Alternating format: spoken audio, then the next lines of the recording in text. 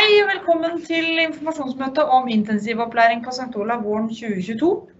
Eh, vi ser at det er ikke så mange som har logga seg på ennå, men derfor så tar vi opp møtet, så kan vi heller dele det med de som trenger det seinere. Vi skal kort si litt om hva vi som hovedregel tilbyr her på St. Olav denne våren. Og så er det sånn at det, for de som det er aktuelt å delta, så har man fått en kontakt fra skolen, eller man har fått en SMS eller en melding eller en telefon. Eh, og vi kommer til å gjøre det videre også, sende dere en e-post med foreslått tilbud dersom dere ønsker å ta imot intensivopplæring. Ja. Uh, Elbjørg her, hun er jo presentert via Teams-møtet. Dere ser navnet hennes, hun assisterende rektor. Selv heter jeg Oddvin Gill, utdanningsleder. Og vi kommer til å holde litt Vi organiserer opplegget fra skolens side nå i begynnelsen. Utover hvis dere takker ja, så vil det bli faglærere og utdanningsledere som følger videre. Uh, kort sagt, dette er et tilbud til de elever som hadde en eller IV i ett eller flere fag i fjor. Vær obs på at uh, de fagene som har blitt nevnt av utdanningsleder når han har kontakta dere, det det er ikke en utfyllende liste. Det kan være ting som også dere mangler fra tidligere av, som den utdanningslederen ikke hadde oversikt over. Så det er ikke sånn at dere er garantert vitnemål om dere tar det, men dette er snakk om et tilbud som vi er blitt bedt av fylket sette i gang med tanke på å fikse enere og IV-er fra i fjor. Det er oppdraget, og da skal vi si litt om hva vi her på skolen kan tilby og også litt om hva vi forventer av de som tar imot tilbudet. Mm. Etter at vi har gått gjennom det her, så vil det være mulighet å få hjelp til å melde seg opp eh, i privatistportalen av Katrine og Birgitte som er med her. Mm. Yes. Kan også nevne at vi tar opp det møtet her på video, sånn at eh, før dere sier noe eller skriver noe i, i chatten, så kan dere vite om at dette her blir blir, blir lagt ut i etterkant. Tilbudet fra skolen, det handler om å Det begynner, det begynner med at eleven må melde seg opp. På, eh, på privatistweb må melde seg opp til eh, eksamen. Vi kan, hvis, hvis tilbudet eller hvis opplegget fra skolen blir gjennomført, så vil eleven får refundert uh, oppmeldingsavgifta. Det er litt penger det er snakk om. Det er 1200 kroner per fag. Men det er jo egentlig ikke det viktigste. Det viktigste er jo at vi ønsker å hjelpe dere til å få en bestått og komme et stykke nærmere et, et uh, vitnemål. Vi vil låne ut bøker der vi har, så får dere låne. Vi vil så langt vi greier det, hjelpe dere med PC-en. Og få PC-en på nett. Dere må ha egen PC. Det er samme som på en eksamen. Men at vi vil ja, IT-folka våre vil, vil, prøve å hjelpe dere hvis det trengs. Og så vil vi og så vil vi gi et tilbud om undervisning.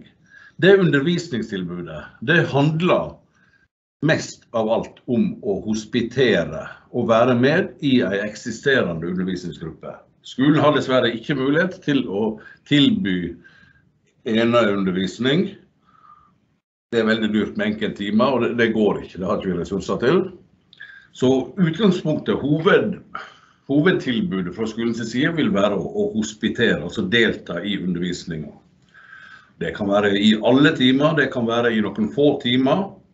Og her tenker vi at, eh, at eleven, altså du som hører på, vil, må, vil, måtte vurdere omfanget. Hva ønsker du? Hva kan du klare å følge opp?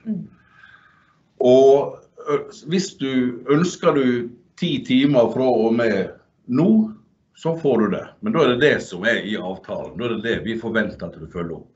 Ønsker du å være med en dobbelttime i veka første gang i slutten av april, så får du også lov til det. Men, og da er det det som er avtalen.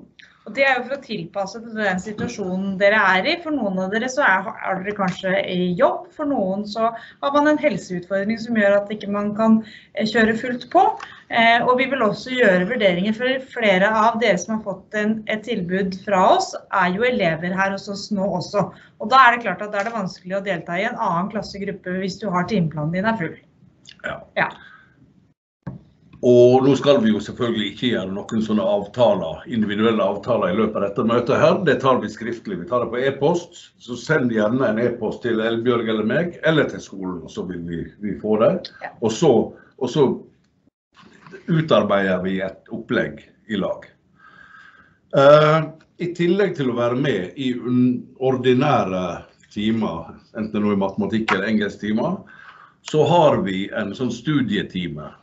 Det er annenhver tirsdag i oddetallsuke, dvs. Si ikke denne tirsdagen her.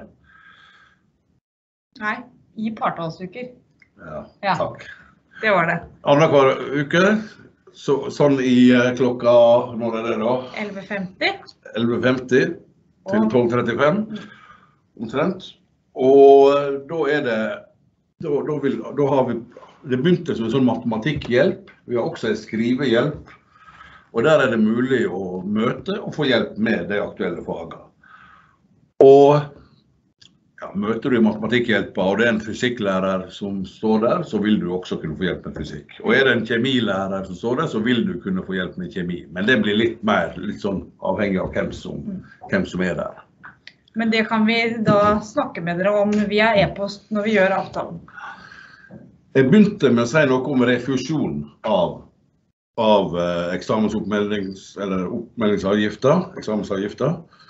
Det handler om Det er to krav. Det ene er å møte til eksamen. Må ikke bestå, men du må møte til eksamen. Så må du gjennomføre det opplegget som du har forplikta deg til i lag med skolen. Det er derfor det er viktig at det opplegget at det ikke blir vårt opplegg, men at det blir ditt opplegg. Du vet hva du kan gjennomføre. Og Klarer du å gjennomføre det, så vil vi også vurdere, ikke i veldig stort omfang, men om vi kan utvide det, intensivere det opplegget litt. Si siste veka før eksamen. Kanskje vi kan greie å hoste opp en, en, en, en enkelttime, eller at du klarer å, doble antall. At du kan være med i en undervisningsgruppe til. Det, det, men det er da en vurdering som skolen gjør, basert på om du som elev har gjort det du skal. Så da er det sånn at når du melder deg opp til eksamen, eh, enten du gjør det i dag eller senest på mandag, så må du da først betale for den eksamen. Så vil du da, hvis du har fulgt det som vi har avtalt på e-post, og møter og gjennomfører eksamen, så vil du få refundert. Da får du tilbake de 1200 kronene per fag. Og så er det jo greit å si det, at gjør en vurdering. Hvis det er flere fag man egentlig trenger å ta, så gjør en nøye vurdering på hva du faktisk kan klare å få til. Og hva som gir best mulighet for at du klarer å bestå og fullføre det halvåret her. Sånn at ikke du taper deg for mye. Det er bedre å heller gjøre litt og få til det, enn at du biter over for mye på en gang. Enig. Ja. Da ønsker vi å takke for oss. Vi håper at vi får en del e-poster nå i etterkant, og at vi kan gå i gang og skreddersy et best mulig opplegg Ja. for den enkelte. Det er selvfølgelig også mulig å sende melding i Teams. Eh, Birgitte og Katrine som er inne i møtet her, går det da an å sende melding til for å få hjelp til å melde seg opp i privatistportalen. Der sitter de og vinker. Mm. Yes! Ta kontakt med oss eh, direkte hvis det er noe du lurer på, så sier vi takk for oss, tror jeg. Det gjør vi. Ja. Hei så lenge! Ha det.